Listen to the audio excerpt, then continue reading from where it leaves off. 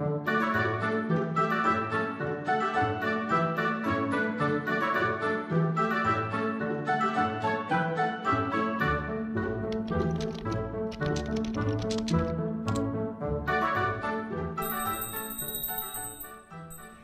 hallo, Servus und herzlich willkommen hier aus Salzburg aus den Biertasting Studios. Mein Name ist Martin und ich heiße euch recht herzlich willkommen zum 18. Türchen am österreichischen Biertasting Club Adventkalender.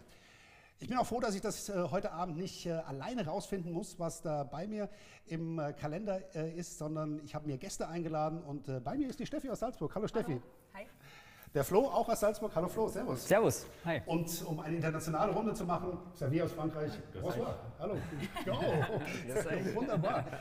Ja, wir werden heute Abend ähm, Biere verkosten, ähm, die sich hinter Türchen Nummer 18 verbergen. Und äh, da brauchen wir natürlich ein Bier. Und der Pascal, unser Bierengel, ist so freundlich und kommt mit einem bunten Blumenstrauß an Bieren.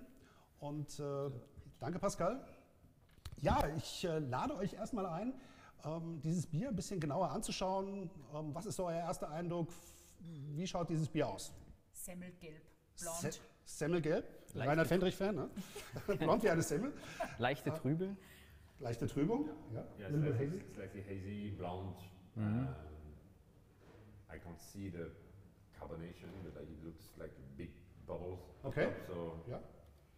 Nice. ja, dann riechen wir mal rein, was aromatisch sich tut.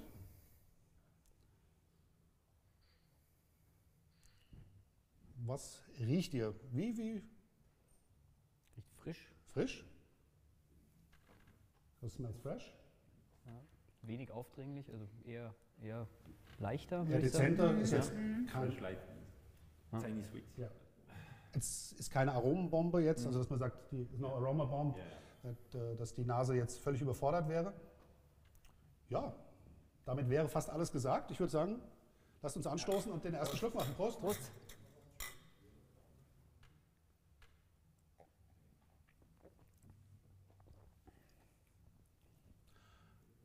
Auch jetzt belästige ich euch wieder mit der Frage, was ist so euer erster Eindruck, your first impression? So ein Tagesbier irgendwie, was man so zwischendrin trinken kann, das ist nicht stark, das Mhm. ist so leicht erfrischend gegen einen Durst, sag ich jetzt mal. Das ist ja wichtig. Ich meine, also der, der, der, Brauer macht ja nur Biere, damit äh, er auch möglichst viel davon verkauft. und wenn du jetzt sagst, wenn's ein Starkbier wäre, dann kann ich das unterm Tag nicht trinken, sondern Okay. also das ist wirklich so. also würdest du es auch alkoholmäßig äh, eher im normalen Bereich ansiedeln, jetzt kein Starkbier. Genau. Ja? Ja. Ich würde auch sagen, also wir sind jetzt im Winter, aber das wäre eher so ein Sommerbier für mich. So schön am See. Äh, Merkt euch das mal, was ihr gerade sagt. Ja? Also, wir werden euch nämlich nachher wundern. ja, wahrscheinlich. Aber ich finde, es schmeckt leicht. Also, wir haben ein Bier für jeden Tag, wir haben ein Sommerbier für den See, Yeah, like a lakeside beer. Lakeside Beer, um, or maybe Seaside in French, uh, France. Yeah. Um, so, what's your impression on this beer? It's uh, yeah, very light, very easy to drink. Uh, Yeah. It's got uh, slightly funky aftertaste. Okay. That is uh, interesting, but like I don't know if I could drink too much of it. Funky in the sense of uh, like like a little sourish, N- uh, not sourish, but like it's uh, there's an, a surprising and unexpected aftertaste. Okay. I, I can't quite pinpoint exactly what it is. Okay. Also ein, ein etwas ungewöhnlicher Nachgeschmack bei, bei diesem Bier, der äh, hinten im, im Abgang dann auftaucht. Äh, wir werden mal rausfinden, was das ist. Gespannt. Also wenn es stark ist, dann ist es gut versteckt. Dann ist es sehr nein, gut nein, versteckt, ja. ähm, Ich finde, das merkt man schon an der Farbe irgendwie, dadurch, dass es so schön hell ist, gell? was würdet ihr jetzt sagen? Was, was könnte das für ein Bierstil sein? Also Bierstyle äh, on this one. Äh, macht mal einfach so eine Idee, in welche Richtung könnte das gehen. Erstmal ist es ein, ein obergäriges Bier, also so in die Richtung Weizenbier, Ale, oder ist es eher ein, ein Lagerbier, was Richtung Pilz, Märzen, Helles geht? Helles. Ja, dadurch, dass es ja eine gewisse Trübe hat, ist Mhm. wahrscheinlich doch eher Richtung, Richtung Weizen, obergärig. Oh, okay. Aber, aber es ist eigentlich geschmacklich eher Richtung Helles. Also Okay. ich tue mir gerade ein bisschen Ja, schwer, das Warum würdest du würdest du jetzt sagen, geht es Richtung obergärig? Ist das ein bisschen Na, einfach nur wegen der Farbe, Wegen wegen, der der, Farbe, wegen, okay. dem, wegen der Trübe. Mhm. Yeah, it looks like a Weiss beer, tastes like a Helles. Ja, ja genau. Okay. Ja, dann äh, sagt mir doch mal, wie es euch schmeckt und benutzt dafür die Karten, die vor euch liegen, von 1 bis 5. 1 ist, bitte lasst bei dem einen bleiben und 5 ist, ähm, könnte ich auch mehr davon trinken.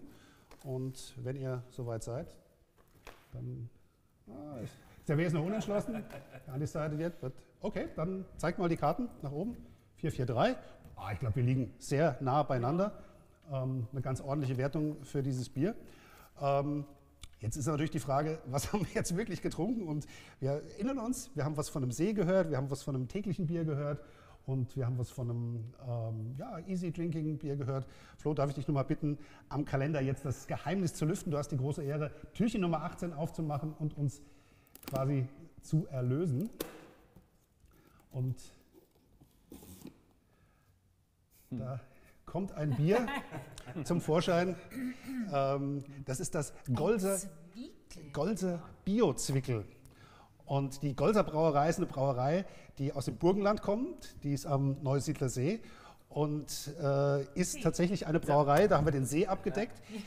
Und äh, ich habe dann, es ist in der Weinbraugegend und ich habe mit dem Markus Sautner, dem, dem Juniorchef äh, der Brauerei, mal geredet und habe gesagt, du, wie ist denn das, wenn man, darf ich dich kurz bitten, das, die Flasche vorne hinzustellen, wie ist denn das, wenn man in einer Weinbaugegend eine Brauerei aufmacht? Funktioniert denn sowas?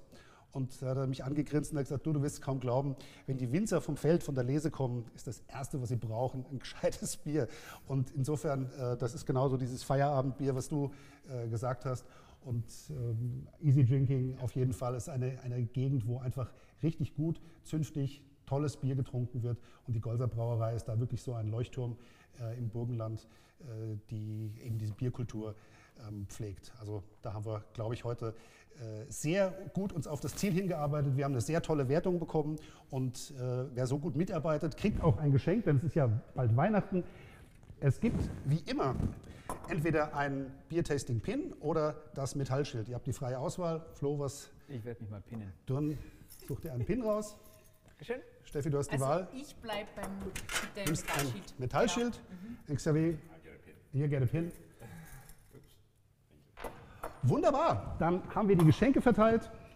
Wir haben das Bier geklärt und würden uns freuen, wenn ihr uns eure Meinung natürlich auch in der Biertasting-App mitteilen würdet. Da habt ihr die Gelegenheit, auch von 1 bis 5 zu bewerten. Seid ehrlich, die Brauereien freuen sich über nichts mehr als über ehrliche Antworten, um die Biere vielleicht noch ein bisschen besser zu machen. Und Kalea freut sich, weil sie rausfinden, was ihr gerne in den Biertasting Club Adventkalendern hättet. Und ähm, dann sehen wir uns morgen wieder. Der beste Weg dazu ist, wenn ihr den Kanal abonniert und nicht vergessen, die Glocke drücken. Dann gibt es eine Nachricht, wenn es hier wieder ein neues Video gibt. Wie gesagt, morgen wird das schon der Fall sein.